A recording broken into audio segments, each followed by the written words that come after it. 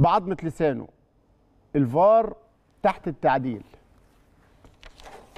خاصية أو تقنية حكم الفيديو المساعد من أول ما دخلت وتم تطبيقها الموسم ال- مش المنقضي اللي قبل منه في نص منه كان الأستاذ عمرو أو الأستاذ عمرو الجنايني كان في خلال ترأسه للجنة الخماسية قدر الحقيقة ينجز هذه المهمة.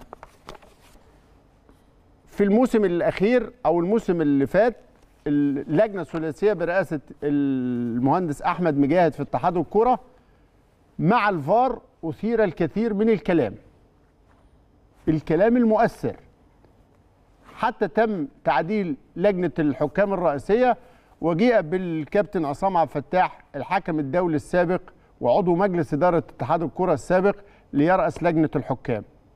كابتن عصام عبد الفتاح كان تم تسريب بعض التصريحات له اللي نقلتها جريدة العين الإماراتية أو موقع جريدة العين وقالوا إنه قال في تونس في محاضرة مع الحكام التوانسة الفار عمل مشاكل في مصر وأهدى الدوري أو غير مسار الدوري وظلم ناس كتيرة.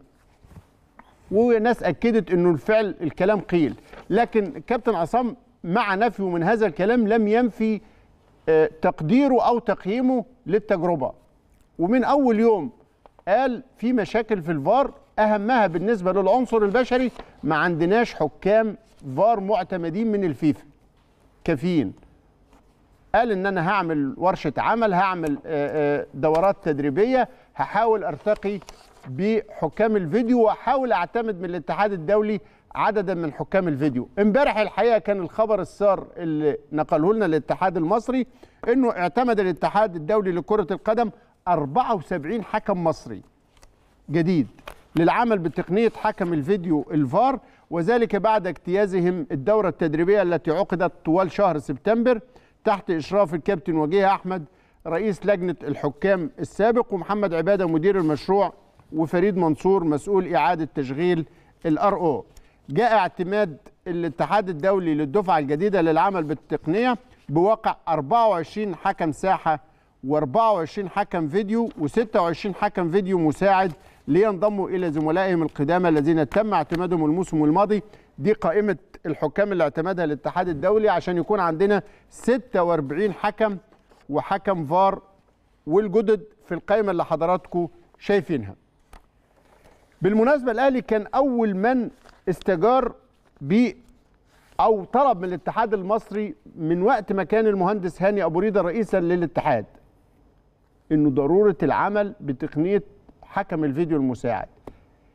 إلى أي مدى أثر حكام الفيديو في توجيه بطولة الدوري خارج النادي الأهلي. في هذا التقرير هتشوفوا خلاصة ال 15 نقطة اللي الأهلي ضاعت منه طوال الموسم اللي فات واللي أضاعت عليه بطولة الدوري بسبب الفار اللي البعض بيعتقد دلوقتي إنه الفار هو اللي ال- المنافس مش بيعتقد بيردد ويؤكد. لا ما هو شغل التوجيه بقى. آه. واخد بالك؟ يطلع مدربين آه انتمائهم معروف ويطلع ناس انتمائها معروف ويقول لك آه من هنا ورايح بقى الزمالك يكسب؟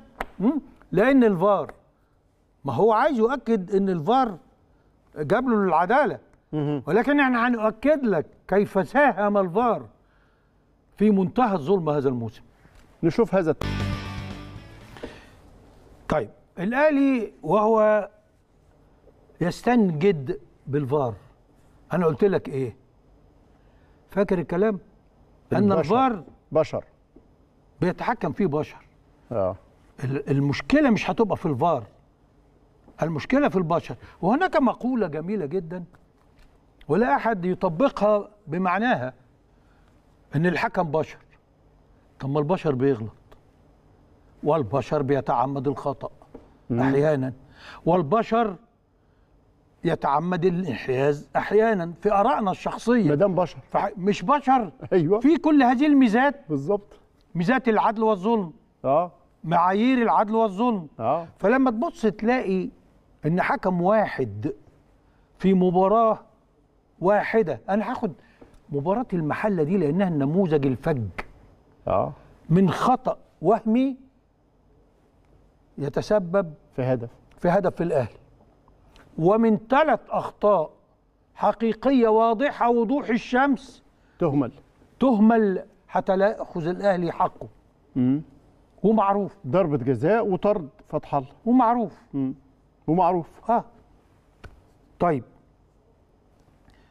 إحنا قبل كده لما كان بيجيبوا الحكم الخامس اللي واقف على الخط ده كنت بقول لك شوف الحكم كده أن يشارك في اللعبة. عايز مد رجل العب ولا يحتسبها في ماتش الإنتاج الحربي بتاعت آه. أزارو. آه. ولا يحتسبها في مرتين مع آه، في بيراميد مع حسين الشحات وأحمد الشيخ. أها. طيب اسمها إيه؟ ما هو ده أكتر من الفار بقى. ده راجل مشارك في اللعبة. ويعمل لك كده يعمل لك كده يا ولد. هايل شفت كل حاجة بس ما فيش حاجة. طيب هتقول إيه؟ يا جماعة أنتوا بتتكلموا في إيه؟ الأهلي إحنا نلوم الأهلي لأنه رغم كل ما حاق به من ظلم ورغم كل ما حاق به من ظلم نتيجة عدم. يعني إعمال المعيار العدالة في للمنافس ها كان يستطيع أن يحسم الدوري بدراعه رغم كل ده. طيب الفار أثر بالشكل المباشر في إهدار الأهلي لهذه الحقوق. ماذا فعل مع الزمالك؟ نشوف هذا التقرير. طيب الكلام ده كله مش رأينا يا جماعة. في كل ال- اللقطات اللي عرضناها لكم ده كان رأي الخبراء الذين أكدوا على كل كلمة جت في اللقطات دي. وكان يمكن المثال الصارخ برضو ماتش المصري. لأن لما تيجي في, في الوقت المحتسب بدل من ضائع في الثواني الأخيرة تحسب ضربه جزاء لازم تبقى متأكد قوي. اولا اللعبة لو هنيجي نشوف كان يسبقها فاول ضد آه، آه، مدافع آه، المصري فكان ينبغي يبقى في صفارة هنا. كل ما طلع من أحداث غير موجود. اللي هو استندوا إليها إن في لمسة يد. طيب حتى لو لو ما فيش دفعة بقى تعالوا نتكلم على نفس لمسة اليد. اللاعب مدي ده واقف كده هو واقف كده. لما تشوفوه قبل الكرة ما تعدي ساعة الدفعة بيبص على زميله واقف كده. لو جبت الصورة تاني بتاعة الدفعة هتجد إن اللاعب اللي اتحسب عليه ضربة الجزاء هو واقف كده. ما كانش نط لسه ولا عمل حاجة. ولما جابت الكورة نط كده ظهره للمهاجم مش مش شايف الكورة. عشان يقدر يمنعها بإيده أو يعمل حاجة. ورغم هذا اتحسبت جهاد جريشة والصباحي ومعروف والحنفي. دول لوحديهم من ال 15 والتسعة كانوا كام التانيين؟ 10 و10 يعني 25 نقطة. مسؤولين عن 18 نقطة مثلا. فيا جماعة إحنا لما بنقول نستنجد بالفار. ليه بنستنجد بالفار؟ الفار بيعمل إيه؟ يعني إحنا زمان كنا نقول إيه؟ ما هو الحكم ما عندوش طرف إنه زي استديوهات التحليل كده يعيد بالبطيء ويرسم الخط الوهمي ويشوف. فكنا بنقول الحكم ما بيلحقش. وربما نلتمس له الخطأ ال- التبرير الخطأ. فكنا بنأمل إن الفار اللي عنده بقى درجة استئناف يقدر يشوف بيها كل هذه التقنيات إنه يرسم الخط وبالبطيء ويعيد اللقطة أكتر من زاوية وأكتر من مرة. إنه يحقق العدالة. ده المنطق ولا إيه؟ لكن بالطريقة دي يا كابتن عصام إذا كنت مدرك أن الفار كان عامل أزمة عليك أن تزيل الأسباب.